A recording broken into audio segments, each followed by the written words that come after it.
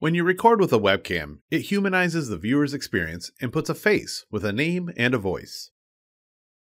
In this tutorial, you'll learn how to record a webcam-only video, how to record your screen and webcam at the same time, and how to apply animations and special effects to your webcam video.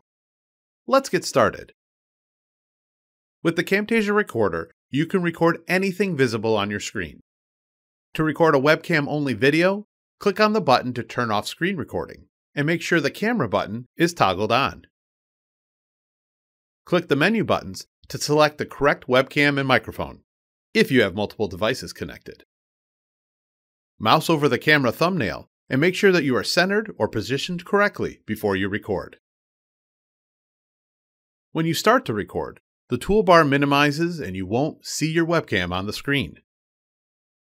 To preview the camera thumbnail while you record, open the toolbar from your taskbar. When the recording is stopped, the Camtasia editor opens with the camera and microphone audio combined on track 1 of the timeline.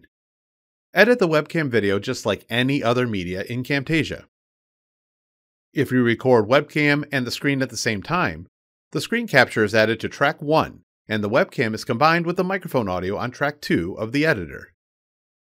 This functions like picture in picture, and you have the ability to edit the media on each track separately.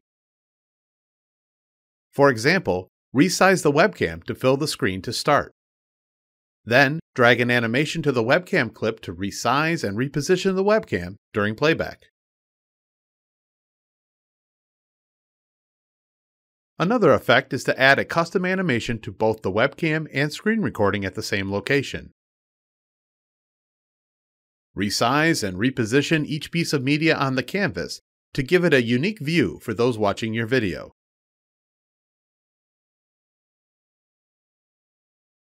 One thing to note is the order of the media on the timeline determines its order on the canvas.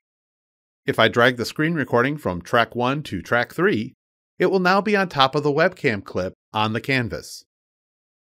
Keep this in mind when you layer or organize media. If you're looking to learn more about Camtasia, check out our other tutorials on our webpage. Thanks for watching.